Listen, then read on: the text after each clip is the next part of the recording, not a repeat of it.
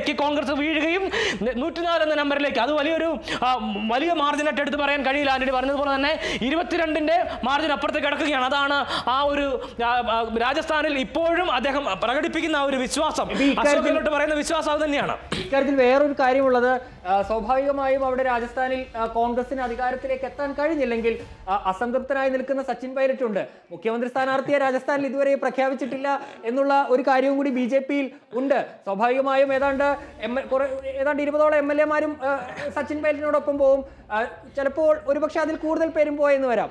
അങ്ങനെയെങ്കിൽ അവിടെ വലിയ ടെസ്റ്റുകളൊക്കെ രാജസ്ഥാനിൽ ഈ തെരഞ്ഞെടുപ്പ് ഫലം പുറത്തു വരുമ്പോൾ ആന്റണി ബി ജെ പിക്കൊപ്പം സച്ചിൻ പൈലറ്റ് പോകുമോ?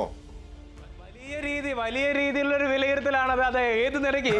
പ്രധാനപ്പെട്ട ഒരു പ്രധാനപ്പെട്ട ഒരു ചോദ്യം കൂടിയാണ്. സച്ചിൻ പൈലറ്റിന് ഇപ്പോൾ ഈ ദേശീയ രാഷ്ട്രീയത്തിലാണെങ്കിലും ഏത് നിലയിലേക്ക് അദ്ദേഹം വരണം? അല്ലെങ്കിൽ സംസ്ഥാന രാഷ്ട്രീയത്തിൽ ഇനിയിപ്പോൾ ഈ ഇത്തവണ ബി ജെ പി അധികാരത്തിലെത്തി സർക്കാർ രൂപീകരിച്ചു കഴിഞ്ഞാൽ പിന്നെ സച്ചിൻ പൈലറ്റിന്റെ ഇത്തരത്തിലുള്ള പരിപാടികൾ നടത്തണമെങ്കിൽ അടുത്ത തവണ ഇലക്ഷൻ നടക്കേണ്ടതുണ്ട്. കോൺഗ്രസ് അധികാരത്തിൽ വരേണ്ടത്. ആ സമയം വരെ അദ്ദേഹത്തിന് കാത്തിരിക്കേണ്ടി വരും എന്നുള്ളതാണ് ഏറ്റവും പ്രധാനമായി എടുത്തു പറയുന്നത് പക്ഷേ ഇനിയുള്ള ഈ അഞ്ചു കൊല്ലക്കാലം അദ്ദേഹം എന്ത് ചെയ്യും എന്നുള്ള ഒരു ചോദ്യം പ്രധാനമായും ഉയർന്നു വരുന്നു. അദ്ദേഹത്തിന്റെ പൊസിഷൻ എന്താണ് എന്നുള്ള കാര്യം പ്രധാനമായും ഇന്ത്യൻ രാഷ്ട്രീയത്തിൽ ചർച്ച ചെയ്യപ്പെടുന്ന ഒരു സംഭവം കൂടിയായിരിക്കും. ഈ അഞ്ചു വർഷവും ആൾ ഭയങ്കരമായി സഹിച്ച് നിൽക്കുകയാണ്. ഓരോ ഘട്ടം വരുമ്പോഴും വിചാരിക്കും തനിക്ക് മുഖ്യമന്ത്രി ആകാൻ കഴിയും. പക്ഷേ കയ്യിലുണ്ടായിരുന്ന പി സി സി പ്രസിഡന്റ് സ്ഥാനവും പോയി ഉപമുഖ്യമന്ത്രി സ്ഥാനവും പോയി പിന്നെ വീണ്ടും സഹിച്ച് സച്ചിൻ മുന്നോട്ട് പോയി എ ഐ സി സി ഒരു യോഗമൊക്കെ വിളിച്ച് രണ്ടുപേരെയും രമ്യതയിലൊക്കെ ആക്കിയിട്ടാണ് ഈ തെരഞ്ഞെടുപ്പിന് മുമ്പ് വിട്ടത്. പക്ഷേ അപ്പോഴും ഗലോട്ട് ഞാൻ തന്നെയാണ് നേതാവ് എന്നുള്ള നിലയിൽ പോയി. എങ്കിലും ഈ തെരഞ്ഞെടുപ്പ് വരെയൊക്കെ സഹിച്ചെങ്കിലും വലിയ മാറ്റമൊന്നും അവിടെ ഉണ്ടായില്ല. സ്വാഭാവികമായും ഇനിയും സച്ചിൻ സഹിച്ചു നിൽക്കുമോ എന്നുള്ളത് വലിയൊരു ചോദ്യം തന്നെയാണ്.